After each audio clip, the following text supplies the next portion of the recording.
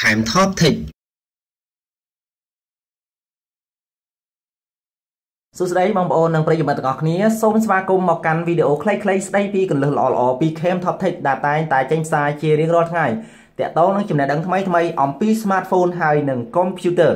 នៅថ្ងៃនេះ ខេមតថៃសូមចែករំលែកនៅចំណេះដឹងដ៏សំខាន់មួយសម្រាប់បងប្អូននិងប្រិយមិត្តដែលប្រើប្រាស់ iPhone ឬក៏ iPad គឺបញ្ហាដែលគេតែងតែភ័យបារម្ភញាក់សាច់នៅពេលដែលមិនដឹងមិនចេះអំពីវា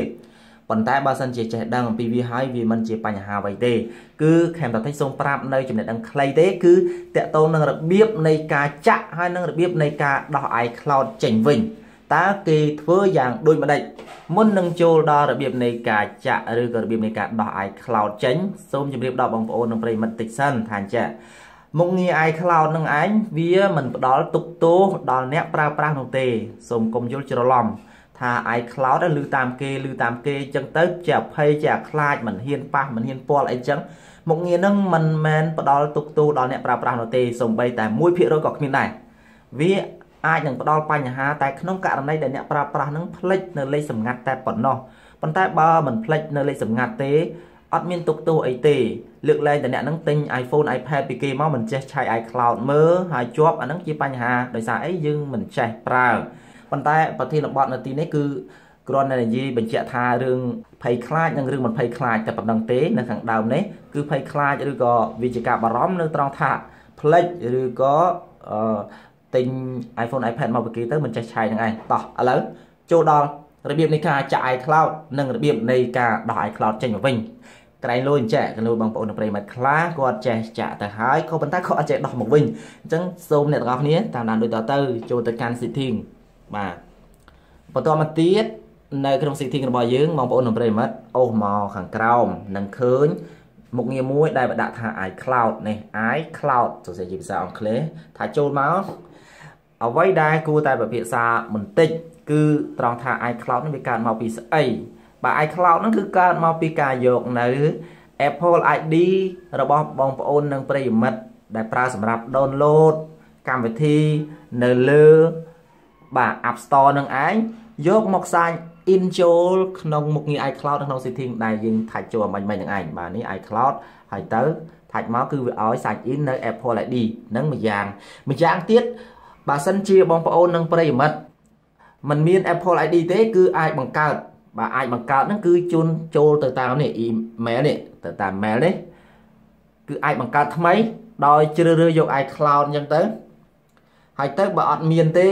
គឺថាច់យកត្រង់កន្លែងនេះ forget Apple ID ឬក៏ password អញ្ចឹងទៅវាឲ្យបងប្អូននិងប្រិយមិត្តបង្កើតថ្មី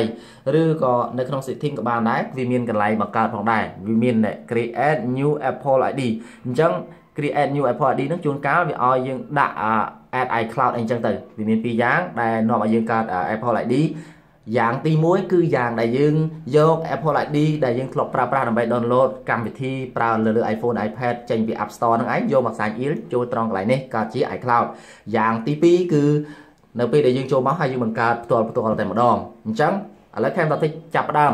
ចាក់បង្ហាញបងប្អូននិងប្រិយមិត្តទាំងអស់គ្នាដូចតទៅនេះវាឲ្យដាក់ Apple ID ចូលអញ្ចឹងខាងតតិចត្រូវតែមាន Apple ID យកមក sign in ចូលត្រង់កន្លែងនេះថាច់យកមកហើយយើងសរសេរទៅបាទអញ្ចឹងខាងតតិចសូមសរសេរដូចតទៅបន្ទាប់មកដាក់ password រួចហើយបងប្អូននិងប្រិយមិត្តទាំងអស់គ្នាថាច់យក sign in នៅខាងក្រោមនេះពណ៌ខៀវហើយរងចាំវាមួយផ្លែត អូខេឥឡូវនេះយើងបាន log in រួចហើយមានន័យថាយើងបានចាក់ iCloud ហើយគឺវាចេញមកតម្រង់បែបនេះអញ្ចឹងពេលដែលវាចេញមកបែបនេះគឺបងប្អូននិងប្រិយមិត្តទាំងអស់គ្នាថាច់យកដុនមើលក៏បានមើលក៏បាន តែជាទូទៅគេថាច់យកដុនមើលបាទនេះយើងត្រូវថាច់បើកផងដែរនៅត្រង់កន្លែង Find My iPhone Find My iPad ប៉ុន្តែជាទូទៅនៅពេលដែលយើងចាក់ចូលអញ្ចឹងទៅវាឲ្យយើងចុច OK អញ្ចឹងយើងចុច OK ទៅនេះតម្រង់នៃការចាក់ចូល iCloud បាទ ទម្រង់នៃការចាក់ iCloud ចូលអញ្ចឹងការចាក់ iCloud ចូលហ្នឹងគេចាក់ដើម្បីធ្វើអ្វីគេចាក់ដើម្បីនៅពេលដែលយើង save លេខទូរស័ព្ទបាទ save លេខទូរស័ព្ទអញ្ចឹងទៅចូលទៅក្នុងប្រព័ន្ធអ៊ីនធឺណិតដែលរក្សាដោយ iCloud បើទោះបីជាយើងបាត់ iPhone ហើយនឹងយើងបាត់ SIM ក៏យើងអត់បាត់នៅលេខទូរស័ព្ទដែរដោយសារអីគឺយើង save ទុកនៅលើអ៊ីនធឺណិតនោះទេដើម្បីធ្វើការ save ទុកនៅលើអ៊ីនធឺណិតបានវាលុះត្រាតែគេនេះ tick បើកត្រង់កន្លែង contact នេះ ហើយរូបថតទៀតសោតក៏គេអាចទុកនៅលើប្រព័ន្ធអ៊ីនធឺណិតដែរនៅពេលដែលគេថតរួចគឺវាទុកនៅលើប្រព័ន្ធអ៊ីនធឺណិតដោយស្វ័យប្រវត្តិតែម្ដង នៅពេលដែល iPhone ឬក៏ iPad នោះភ្ជាប់ទៅកាន់ Wi-Fi បាទភ្ជាប់ទៅកាន់អ៊ីនធឺណិត Wi-Fi អញ្ចឹងនេះគឺការចាក់ចូលទៅហើយការចាក់ចូលអញ្ចឹងមិនមែនមានន័យថាជាប់នោះទេបើបងប្អូននិងប្រិយមិត្តចាំនៅ Apple ID ដែលយើងបានចាក់ចូលអំបញ្ញមិញនេះប៉ុន្តែបើសិនជាយើង ផ្លេចនៅ Apple ID ឬក៏យើងទិញទូរស័ព្ទតពីគេដោយគេមានចាក់ iCloud ស្រេចអញ្ចឹងគឺមានន័យថាជាប់ហើយអញ្ចឹងយើងចាក់ចូលគឺនេះយើងចាក់ iCloud អញ្ចឹងយើងដោះ iCloud ចេញវិញតើយើងត្រូវធ្វើយ៉ាងដូចម្ដេចបាទគឺយើងត្រូវ touch sign out បាទនេះនៅខាងក្រោមនេះថាច់យកសាញ់អោមកពណ៌ក្រហមថាច់យកមកបន្ទាប់មកបន្តយកសាញ់អោបន្តទៀតបន្ទាប់មកនៅត្រង់កន្លែងនេះ វាឲ្យ delete ឬក៏មិន delete អញ្ចឹងយើងថាច់ delete អញ្ចឹងទៅបន្ទាប់មក keep បើសិនជាយើងចង់រក្សាទិន្នន័យផ្សេងផ្សេងទុកនៅលើ iPhone iPad នេះបាទដែលវាបានទាញមកពី iCloud យើង keep ទៅប៉ុន្តែបើសិនជាយើងមិនចង់ទុកទិន្នន័យផ្សេងផ្សេងដែលទាញមកពី iCloud ដែលមាននៅលើ iPhone iPad នេះគឺយើងថាច់យក delete ទៅបាទនេះការ ដោះ iCloud ចេញមកវិញមានន័យថាការចាក់ចេញពីមុខងារ iCloud នៅក្នុង setting វិញមិនមែនដូចយើងសាញ់ឲ្យចេញពី Facebook បានងាយងាយនោះឡើយមិនមែនអញ្ចឹងឡើយគឺវាទៀមទាឲ្យយើងដាក់នៅ password Apple ID មិនមែនមានន័យថាដូច Facebook អញ្ចឹងកាលណាយើងចុចទៅ log out ឬក៏ sign out ចេញគឺវាចេញមិនចាំបាច់ដាក់ password នោះទេអញ្ចឹងហើយបានជានៅពេលដែលយើងផ្លេចនៅ password Apple ID គឺវាជាប់ហ្នឹងអញ្ចឹងខុសគ្នាពី Facebook ត្រង់ថា Facebook sign out មកគឺចេញតែម្ដងតែ iCloud sign out ចេញមកគឺ វាឲ្យយើងដាក់នៅ password Apple ID ខុសគ្នាត្រង់កន្លែងហ្នឹងកាលណាយើងផ្លេចគឺជាប់ប៉ុន្តែ Camtech មិញគឺចាំអញ្ចឹងយើងសាយឲ្យចេញមករបៀបចាក់ហើយនេះរបៀបចាក់ចេញមកវិញគឺរបៀបដោះចេញមកវិញ Camtech សូមមិនបង្ហាញអ្នកទាំងអស់គ្នាទេដាក់ password ចូលបាទដាក់ password រួចហើយអញ្ចឹងយើងថាច់យក turn off ចាំវាមួយផ្លែតបាទបញ្ជាក់ហើយបញ្ជាក់ទៀតថាយើងត្រូវការអ៊ីនធឺណិត នេះឲ្យតែវាចេញដាក់ថា turn off finding find my iPhone find my iPad ឬក៏ signing out ហ្នឹងមានន័យថាសង្ឃឹម100%មានន័យថាយើងវាយនៅ password Apple ID ហ្នឹងឬក៏ iCloud ហ្នឹងគឺត្រឹមត្រូវ100%ហើយនេះយើងបានដោះ iCloud ចេញរួចរាល់100%ហើយបន្ទាប់ពីយើងបានចាក់ហើយយើងដោះដូច្នេះនេះហើយសម្រាប់បងប្អូននិងប្រិមិត្តដែលមិនដឹងពីរបៀបក្នុងការចាក់ហើយនិងរបៀបក្នុងការដោះ iCloud ចេញពីក្នុង setting ហើយ នៅពេលដែលឃើញវីដេអូនេះទៅសង្ឃឹមថាបងប្អូននិងប្រិមិត្តដែលប្រើប្រាស់ iPhone iPad នឹងមិនចេះតែភ័យខ្លាច